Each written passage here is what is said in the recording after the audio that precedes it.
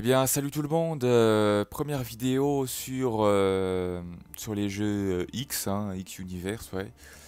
Je suis un joueur de ces jeux-là depuis, depuis X, euh, X2, ouais.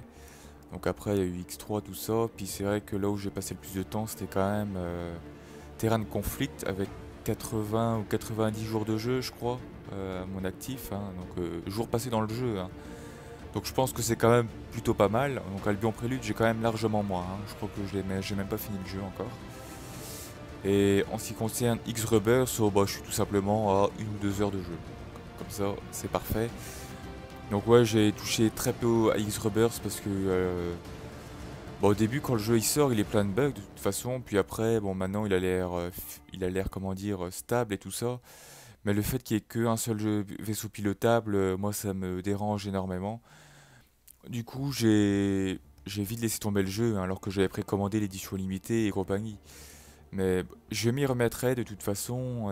Mais on va parler de ça à la fin de la vidéo, de, mes projets sur la série X Universe. Donc X4 a été annoncé. Donc j'étais euh, super, euh, super surpris, ouais, c'est le mot. Et donc, euh, bon, j'ai résumé à peu près ce qu'ils disent dans le trailer de 7 minutes, j'ai traduit tout ça.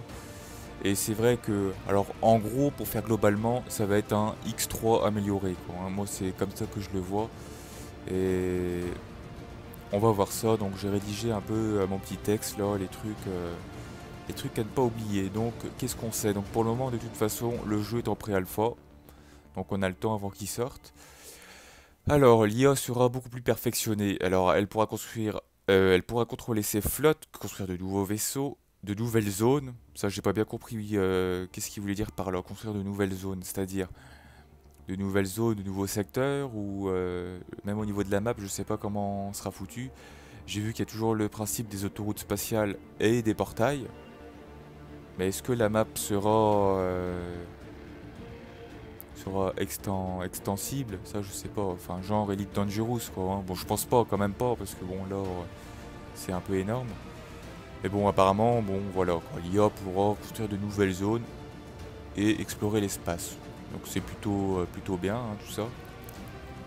Alors, les différentes races auront beaucoup plus d'impact sur le changement de l'univers par rapport à avant. Donc c'est vrai que par c'est vrai qu'avant, par exemple sur X3, il disait bon les les races, euh, comment dire, euh, sur l'univers, ouais, mais c'est vrai que c'était pas non plus euh, tant que ça perceptible. Des fois, il y avait des petites escarmouches entre euh, certaines races, mais voilà, c'était pas non plus, euh, il y avait pas non plus des secteurs qui passaient euh, sous contrôle d'autres races, enfin quand même pas quoi. Et donc apparemment l'univers sera également beaucoup plus vivant. Alors, super bonne nouvelle, tous les vaisseaux seront pilotables. Et ça, je l'attendais, cette nouvelle-là, enfin. Et on aura également une vue intérieure. On pourra même se balader dans le vaisseau. Et, ça, c'est plutôt cool. hein. Donc, euh, n'importe quel vaisseau, hein, de ce qu'ils ont dit. euh, que ce soit le, petit chasseur jusqu'au euh, destroyer ou tout ce que vous voulez.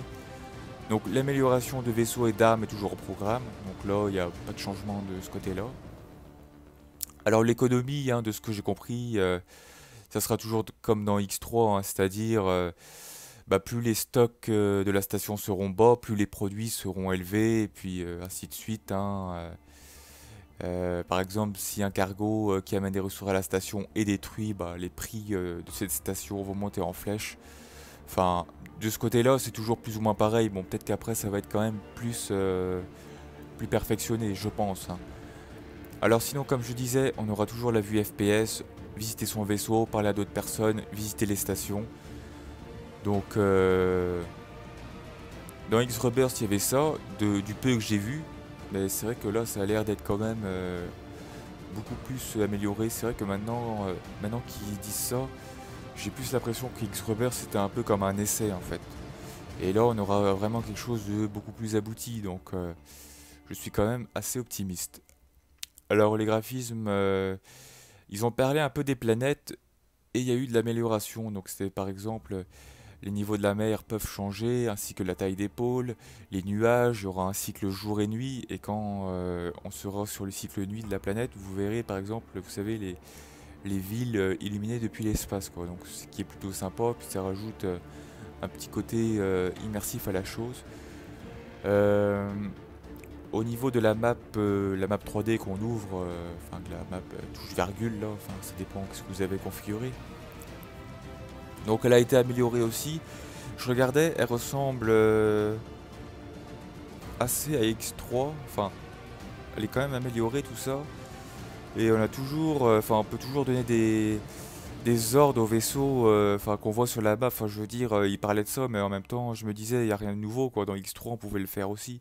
Alors peut-être que ce sera des ordres beaucoup plus, euh, beaucoup plus élaborés. Il y aura peut-être beaucoup plus de choix aussi.